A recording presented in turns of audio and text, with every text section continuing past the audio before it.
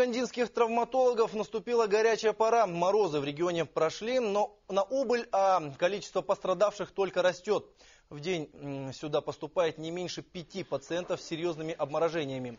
Отделение термической травмы областного центра травматологии переполнено. Сейчас здесь находится на лечении около 70 пациентов.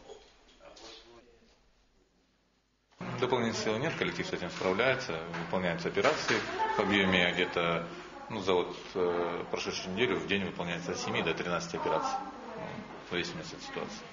Просто в этом году морозы все-таки более сильные. Если в прошлом году они были где-то ближе к январю, то они ранее начала морозов. Ну, в любом случае, как бы готовы к этому.